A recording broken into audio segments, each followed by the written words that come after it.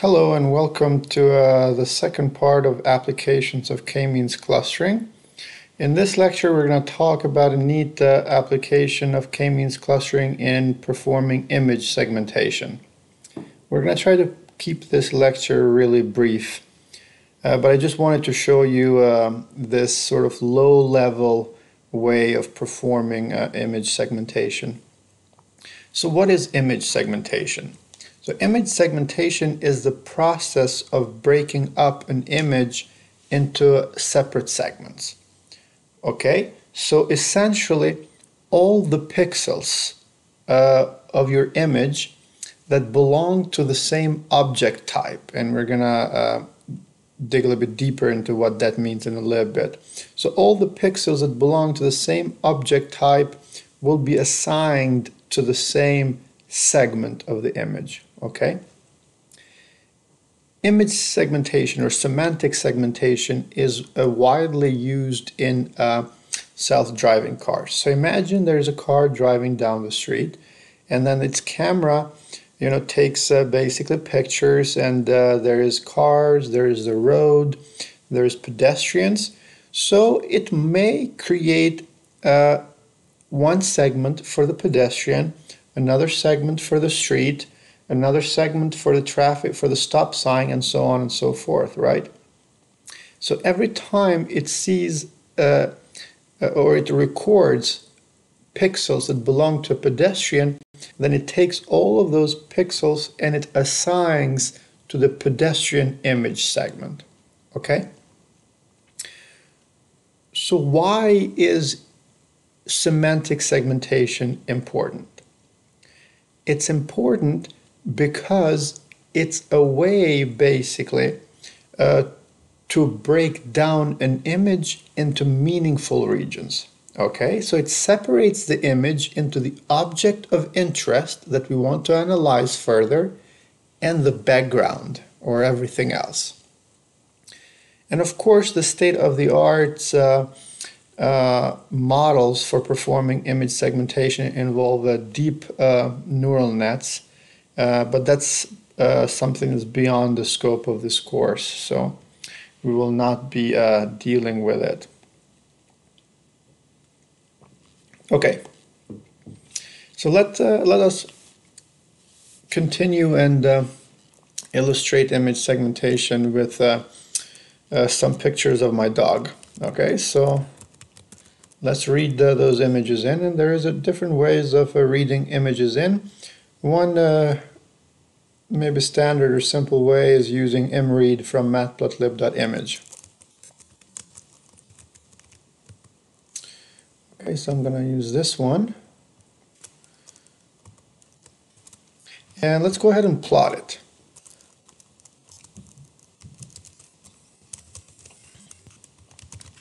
So I'm just going to create uh, maybe size here.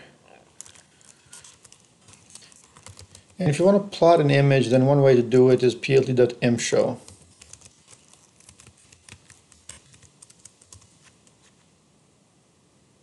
Okay. Uh, I think. All right. So this is basically, this is Caesar. And let me, I guess, make this just a little bit larger. Okay, so as we can see here, there is different colors, different shades, and maybe say the object of interest for us is just Caesar, okay, or maybe the flag. Then we want to partition basically this image into maybe two or three colors the most, okay? Or two or three segments. one segment could be everything that belongs to Caesar, another segment could be everything that belongs to the flag, and the third could be everything else, okay? And so this is one way, for example, also when you perform image uh, recognition, because it's easier maybe to recognize uh, a dog just by its shape rather than by the uh, colors, okay? So First off, let's just check out what uh, this data looks like. So here's what this data looks like. So one thing that I'm going to do actually, uh, so these numbers all represent pixels. So what I'm going to do is I'm going to uh, uh, just uh, scale this. So the maximum number of pixels is 255. So now everything uh, has a value, like all the pixels have a value between 0 and 1. So let's check out the shape. So shape, so this is a 3D uh, image in some sense, okay? So what that means is as follows. So it has, so the first guy here represents the height, the second number represents the width, and the third number represents here the number of color channels. Since we have a 3, that means we have three color channels. What that actually means is that each pixel is a 3D vector where it's each component uh, represents or stores the intensity of uh, like the first component uh, stores the intensity of the red value of the red uh, color the second of the green uh, and the last component um, the intensity of the blue. Okay so what we are going to do is we want to uh, group these pixels into or cluster these pixels using k-means clustering into a certain number of clusters, okay? So to do that, the first thing we got to do is we got to reshape this. So in other words, we got to reshape this into an array uh, that's 960 times 644 rows and three columns. Okay, so let's do that. And so here's one way to reshape it. As you know, if I just put this negative 1 here, it knows that it's going to keep, uh, so one of the dimensions is going to be, like the second dimension is going to be 3, and then it will just fill the rest. Uh, it will figure out exactly what the, uh, the, the first dimension uh, needs to be. So let's check the shape of x. And basically this is the first, the number of rows is a little bit over 600,000 and that's just 960 times 644.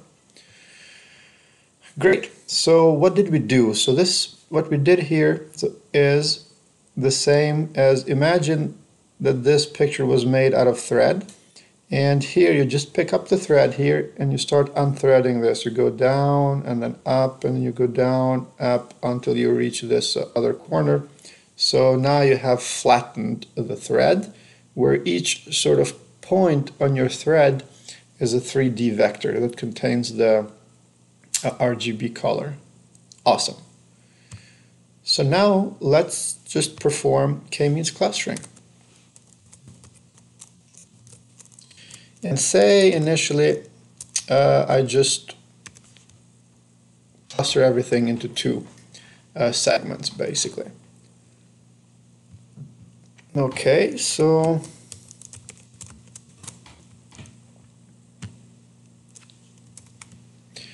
now we have clustered everything into two clusters. All we got to do uh, is recreate the image now, okay? So let's see how do we recreate the image. So let's write image segmentation. So remember, one of the things that happened here when you cluster everything into two groups basically is the centers or the means of each subgroups were computed. So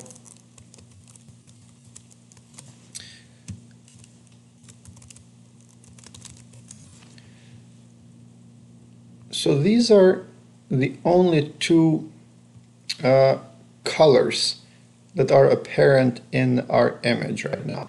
Now all we have to do is we have to go in here and find all of those pixels that were put in this segment or right that were that were uh,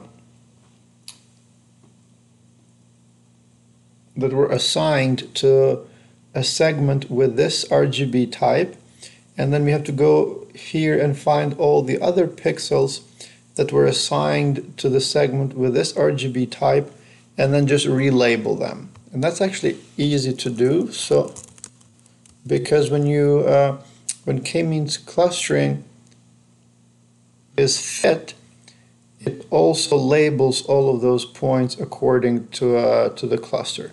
Okay. So, done.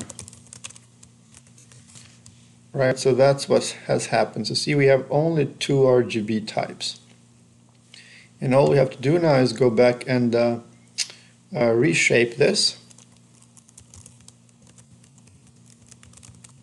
Then we have to reshape it into the same dimensions as the original picture. Okay. And then we just plot it now.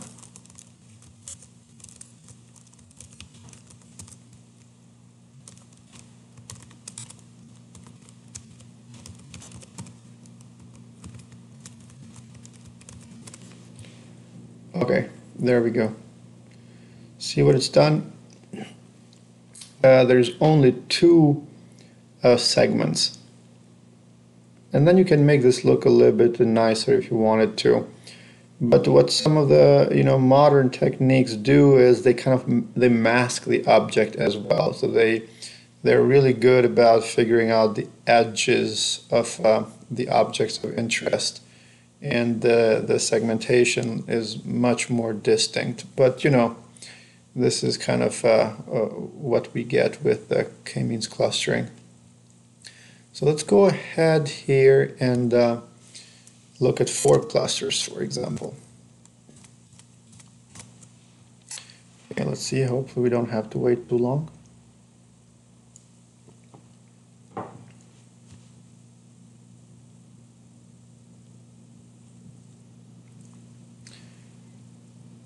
Yeah, so this is what, uh, so we have created four different uh, segments here.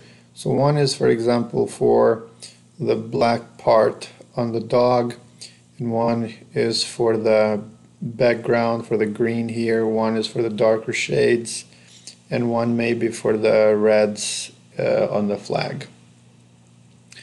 And similarly, uh, I can use another picture. I used another picture here of my dog, so this is another picture. And suppose that I only want to distinguish the background and Caesar. Okay, so I'm only, uh, so here I'm going to do the exact same thing. And I'm only going to um, create two segments basically. So I'm going to perform k-means clustering with only two clusters. And let's see what it looks like. And here's what it looks like. So Again, it's not super great, and as I mentioned, the more modern techniques would mask the whole background with exactly uh, more or less one uh, shade and then mask the object uh, with another one to make it uh, more distinct. Well, this is basically it.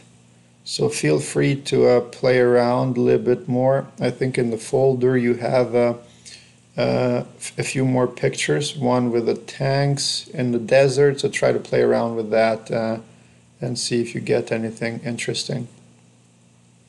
Okay, thank you uh, for listening.